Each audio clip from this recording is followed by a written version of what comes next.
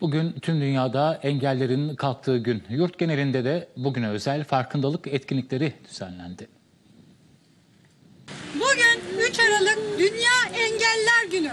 Görmezden gelme, duymazdan gelme.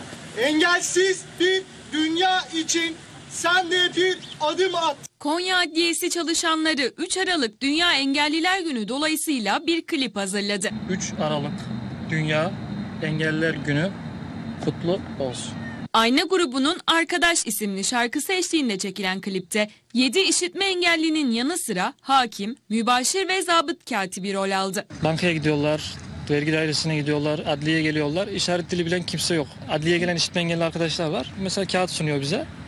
Bu ne falan diyor. İşte işaret dili yapınca, işaret dili bildiğimi görünce çok mutlu oluyorlar. Engellilerin duyarlılıklarına dikkati çeken çalışma sosyal medyada vatandaşların beğenisini aldı. Engelleri aşmak için biz de varız. Tekirdağ'da ise polisler bugünün anlamını İstiklal Marşı'nı işaret diliyle okuyarak gösterdi.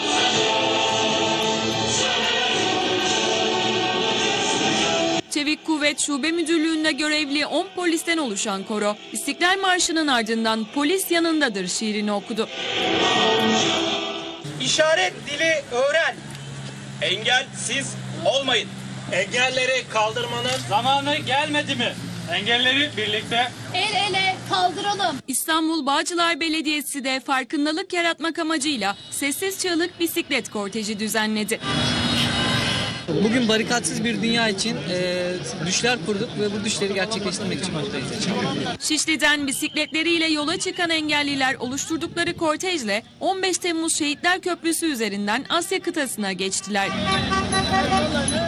Bu konser ise Bursa'dan. Kent Konseyi Engelliler Meclisi bugün özel konser verdi.